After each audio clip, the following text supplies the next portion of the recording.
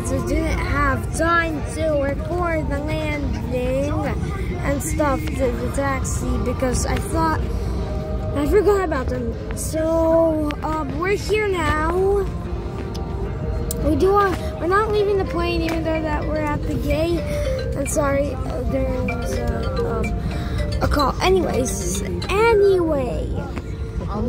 So, um,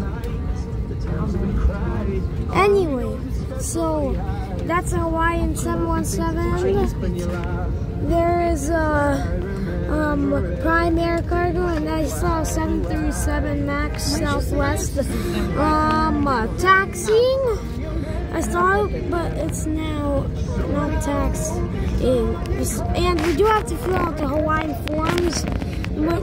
So we gotta wait. And this was just like a short clip, so we do have to fill out the Hawaiian forms. So we're not leaving the plane yet. So yeah, you can see all the ground service vehicles, and you can see our screen is just.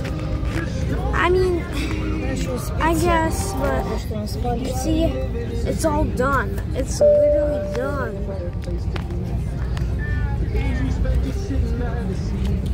Lighting light up. Lighting it up. Anyway, so yeah. Aloha ladies and gentlemen and welcome to Kailua Kona. As you can see we are in outside airport so please watch your step when you deplane the aircraft. If you're picking up luggage this afternoon, you'll be doing so at carousel B2, that's Bravo 2. You'll go out the glass double door, that's carousel to the right. So yeah, we're not gonna leave yet, but okay. I like the songs. Please stay seated for just a few more moments. Thank you. Please check all surrounding areas for any personal items you might leave on the flight. We are passing out agriculture forms, which is a requirement for the state of Hawaii. Once you fill out the agriculture forms, you're allowed to plane the aircraft. When you get to the oh. bottom of the ramp, please immediately make So your way bye to guys, gate number see eight. There ya. will be no stopping See ya ramp. when we're in On behalf of myself and the Kona crew, welcome to Hawaii. and we're in there and yeah, so bye.